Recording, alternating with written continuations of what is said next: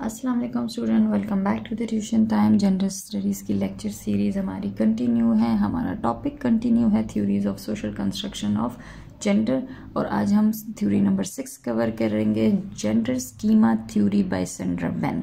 Sandra Bem की theory, हम देखते हैं कि सेंड्रा बेन क्या कहती हैं। स्कीमा पहले क्या होता है? हम इस वर्ड को समझ लेते हैं। Schema is a pattern of thought or behavior that organizes categories of information and relationship between them.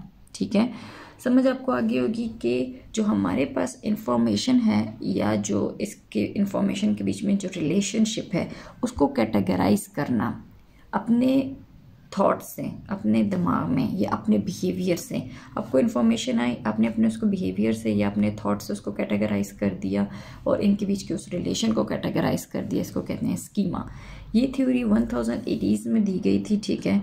इस थ्योरी के मुताबिक according to this theory culture influences the individual and develop their ideas about what it means to be a male और female इस theory में हम culture को बात की बात करेंगे।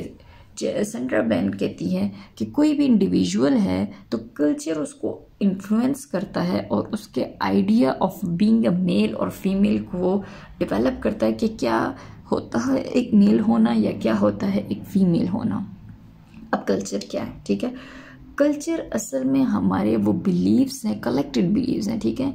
हमारे वो बिलीव्स हैं, या वो मटीरियलिस्टिक थिंग्स हैं, या वो हमारी वो नॉर्म्स हैं फॉक वेज है, जो कलेक्टिवली एज अ सोसाइटी हमने एक्सेप्ट किए हुए हैं, और हमने अपना एक सोसाइटी का सेटअप जो बनाया है, हमने उन चीज़ों को कह दिया कि ये ये चीज़ें हमारे लिए एक्सेप्टेबल हैं।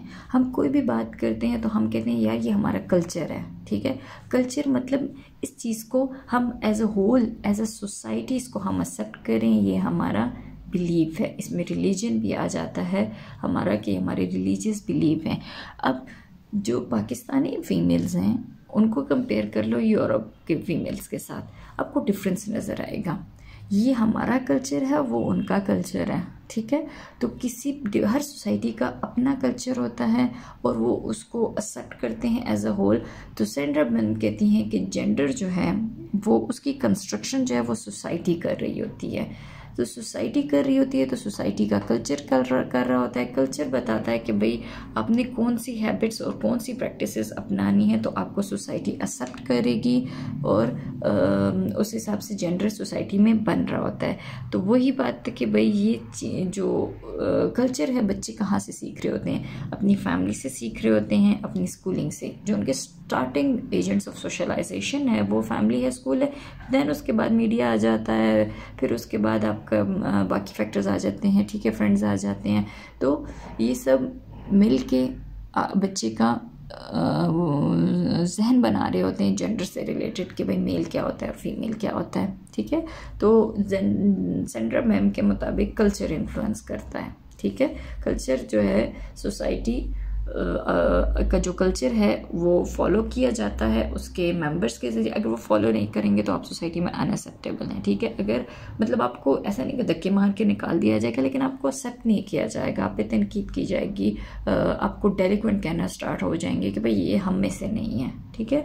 तो कल्चर बहुत ज़्यादा इन्फ्लुएंस कर रही है जेंडर में कि भाई हमने मेल और फीमेल को जो जेंडराइज कर दिया या सोशल कंस्ट्रक्शन जो कर रहे हैं, हम जेंडर की उस पर कल्चर इन्फ्लुएंस हो रहा है। नेक्स्ट हमारे पास थ्योरी है sex role theory sex role theory कहती है कि जो बॉयज़ हैं, जो गर्ल हैं, वो अपने रिस्पेक्टिव सेक्स के रोल्स को फॉलो कर रहे हैं, ठीक है? अडॉप्ट कर रहे हैं और सोसाइटी उन पर री करवा रही है उनकी पर्सनैलिटीज़ में ये चीज़ और वो अपने सेक्स के हिसाब से एक्ट कर रहे हैं। तो ये इस थ्योरी का कहना है कि जो सोशल कंस्ट्रक्शन ऑफ़ जेंडर है, वो बायोलॉजिकल डिफरेंसेस पे बेस कर रही है जेंडर्स के बीच में।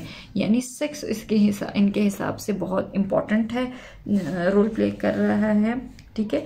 जेंडर स्कीमा थ्योरी ने कल्चर पे ज़ोर दिया है सेक्स रोल थ्योरी सेक्स पे दे रही है कि सेक्स जो है, वो जेंडर की कंस्ट्रक्शन में इंपॉर्टेंट है सोसाइटी जो है वो मुख्तलिफ़ रोल्स और एक्सपेक्टेशन अटैच कर रही है हर सेक्स के साथ। तो जेंडर जो है वो उसी पैटर्न को पे चलता जा रहा है और सोसाइटी में कंस्ट्रक्ट होता जा रहा है। इसीलिए सेक्स का बहुत इंपॉर्टेंट रोल है। बॉयज़ और गर्ल्स जो हैं, उनकी मिसाल स्पंज की तरह है, ठीक है?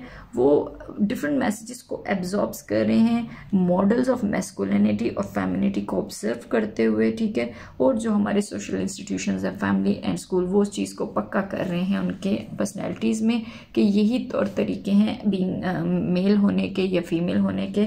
तो बच्चों में वो चीज़ लाइक स्पंज एब्जॉर्ब होती जा रही है एब्जॉर्ब होती जा रही है और हमारी सोशल कंस्ट्रक्शन ऑफ़ जेंडर होती जा रही है। ठीक है तो आज हमने छोटी सी दो थ्योरीज़ को कवर किया है।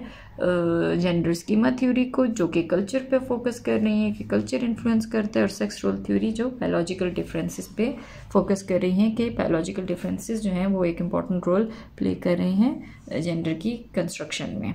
इंशाल्लाह हम आपको अपनी नेक्स्ट वीडियो में मिलते हैं। नेक्स्ट थ्योरी को कवर करेंगे एंड देन हमारा ये टॉपिक क्लोज हो जाएगा theories of social construction of gender तब तक के लिए अल्लाह हाफिज़। See you in my next one kindly like share and subscribe to my channel अल्लाह हाफिज़।